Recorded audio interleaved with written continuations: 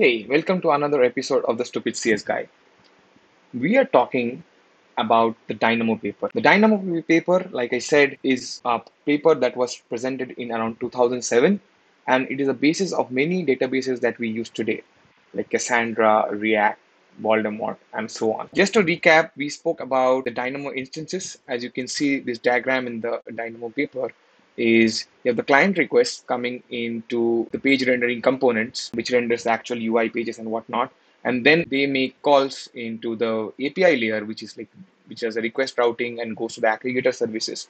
And finally goes to the services which house the real business logic. So this is like think of it like you know checkout checkout service, maybe order service, maybe something like recommendation service, and blah blah blah and so on and each of them have their own separate dynamo instances. Yeah it is not one dynamo instance for the entire company. And before we go to the next part just to recap the key principles were incremental scalability which was easily being able to scale symmetry every node in dynamo having the same responsibilities. Decentralization if one system goes down it should not affect the entire uh, you know dynamo system.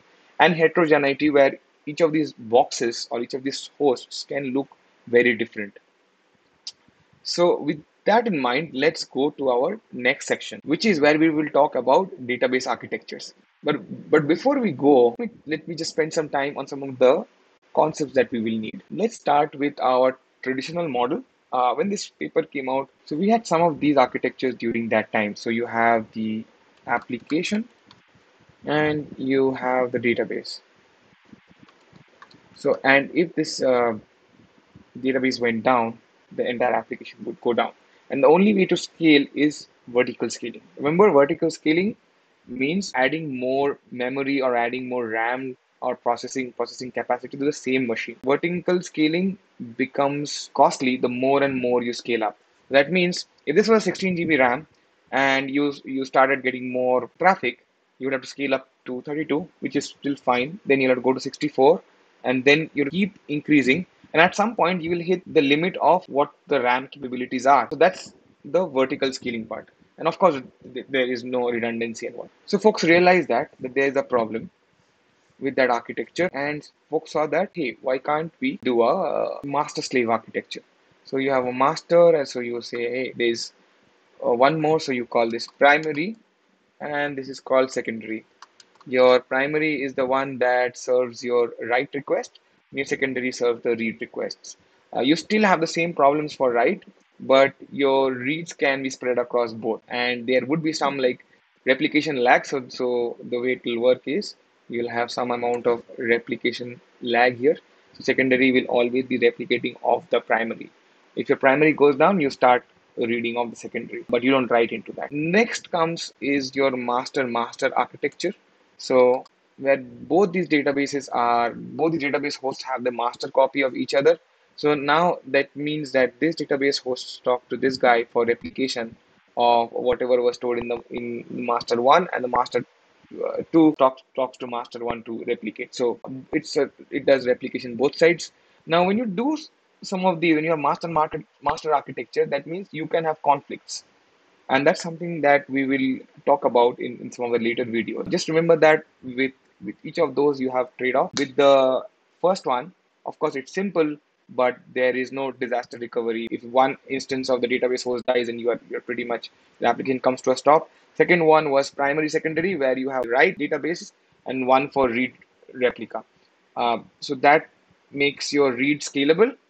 You can scale out your reads but you have the same problem with your writes where your writes need to be only vertically scaled and not horizontally scaled because that is the source of truth. And the third one is the master master, where both of them are primary. That means you can your writes can go into either of it, but then their replication has to be super fast. And there is a case where you can have conflicts because you have the same document or the same key value pair, and let's say which is stored in both of these masters, and some one machine edits the one in master one and the other machine goes and edits in master two. So how do you do a conflict resolution of the data? That's the overall view. So now I come to my favorite topic, which is of course CAP theorem.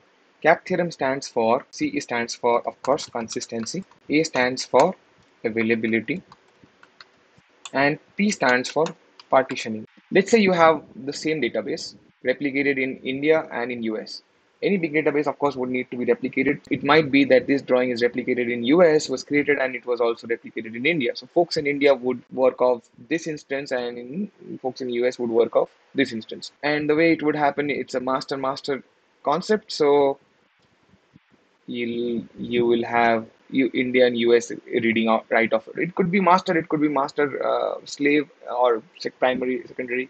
It doesn't really matter. But let's let's look at this. So first, uh, somebody makes a change to the drawing. It goes into US. So you have users sending traffic here, and then you also have users sending traffic here. Right now, let's come to the P. What happens if there is a network partition? When I say network partition, let's say the cable between India and US, the underwater sea cable, gets cut. So this is no longer happening. So there, um, so there is a cut now. So let's say the cable, undersea cable is no longer operating, and so there is a cut. But the databases are up, by the way. So what do you do in this case? And I, like I said, CAP theorem is only applied to distributed systems. It is not applied to if it's in the same box. So, like I said, so you have two options here, right? You can say that, hey, I can bring down the entire system. So I can say, hey, India and US is not, you know, talking to each other.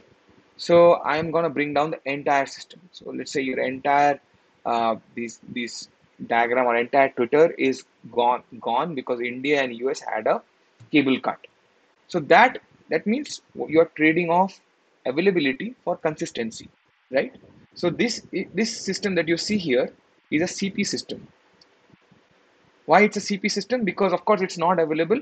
In case of a network partition, in this case, you are still prioritizing consistency. Both the database are exactly consistent, but you do not have availability. Now let's say what are your other choices? Your other choices is, hey, I don't know. Uh, sure, India and US are not communicating each other, but I'll still keep functioning of them. That means your India database and US database might start looking different and they are no longer consistent. A, a, person in US might see a different version of this drawing and person in India might see the same drawing have a different version. And at some point when this gets fixed, they will start communicating again, right? This means it is eventually consistent. And what you have traded off is you have made it traded off consistency for availability. So that is an AP system. So an AP system is uh, an availability and, and a partition system. So yeah. So what does what is an AP system? So an AP system is a system which is available when a network partition happens. And that is a highly available system. So generally when anybody tells you to design a highly available system, you would look for an AP system and not a CP system. Now that we know about all these basic concepts, we'll go into the actual Dynamo paper. So if you go into the Dynamo paper, it, it talks about all of these topics and each we will cover each of those topics. So we'll cover the next one, we'll cover about partitioning, we'll, where we'll talk about consistent uh, hashing. That is how they achieve incremental scalability. That means that is how they make it easy to add new hosts into the Dynamo network. High availability. Again, if somebody tells you to design how, how do you have high availability for writes, the technique that they use is vector clocks for reconciliation. I'll, I'll talk about that here because high availability means that you will have a master master model where there would be conflicts. And how would they res resolve those conflicts is through vector clocks. Then is the temporary failures. Of course, you don't want your system to have an outage for small failures or a, or a node restart and that is where you know sloppy quorum and hinted handoff comes in then there is recovering from permanent failures. Whether your, your host goes for a toss that means you need replication. You need some sort of replication and you have to be super fast about that and that is where we will talk about anti-entropy merkle trees.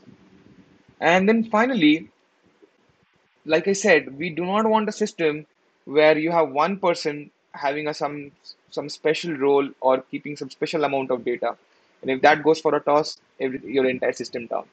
That is why the membership and all of these configurations that we will have is stored in the nodes itself. And the way it is done is through a gossip based membership protocol and failure detection.